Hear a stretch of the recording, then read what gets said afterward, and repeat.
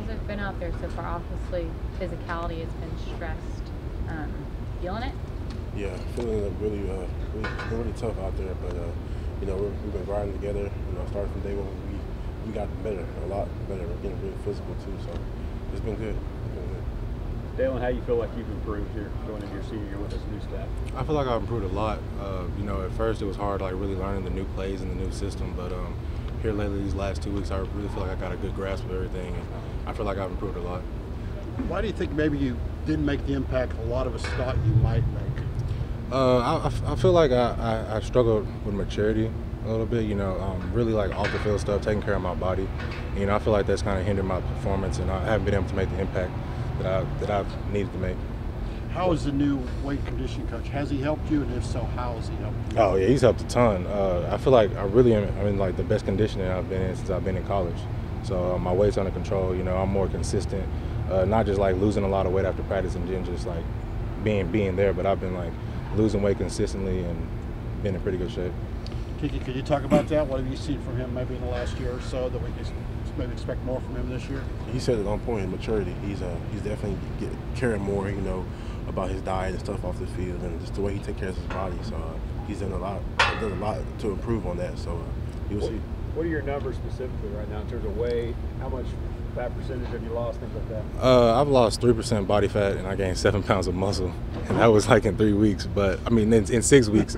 but um, right now I'm like 321, 322. So consistently, it's not like I just dropped a ton of weight and kind of like just lost all my strength and everything. It's been like more of a consistent, a consistent loss, and it's really it's really been showing out there. What's your optimal playing weight? Uh, I want I want to play at like between 315 and 320. So I'm so I'm almost there. I'll probably get there before the end of uh before we stop working out up here for uh, summer and just maintain it throughout the summer, and that'll probably be my season playing weight. So. David, how excited are you for the spring game? Oh, I can't wait. You know, it's probably going to be an attendance record. Uh, having an attendance record senior year for your spring game, I mean, that's that's what you want as a senior. Daylon, how bad are y'all going to beat the Maroon team? Oh man, I, I, mean, I personally, I think we got the best team. You know, I think uh, we got a lot of guys that are going to help us, you know, make plays against the uh, Maroon team. So I'm really looking forward to it. What can you, each of you guys tell us about working with Elko here now for the last four weeks? Uh, he's a really smart guy. You know, he knows what he's doing, and uh, he knows what the offense is trying to do, and he just knows how to put players in the right position to make plays. Yeah, I, I, mean, he said it. You know, he knows how to put the people in the right position to make plays. Uh, he's actually pretty funny, you know. So that's that's pretty cool. I didn't know he had that type of personality, but he's, he's really fun to be around. You know, he gets you gets you ready to practice, and I think you know we're gonna have a really good season under him this year for both of y'all, what was the experience like in drafting the teams and getting had that kind of GM experience? Oh, it, it was really, uh, you know, something at the beginning. I'm not gonna really say what happened, but I think we kind of got hosed with a couple picks at first. but uh, you know, we we ended up. I think after the draft, we ended up having the best team. So it's it's all good, you know. We just gotta get we got through the it. best team actually. So. Do any of the players seem like they might have a, a GM future in, in, in, in, their future?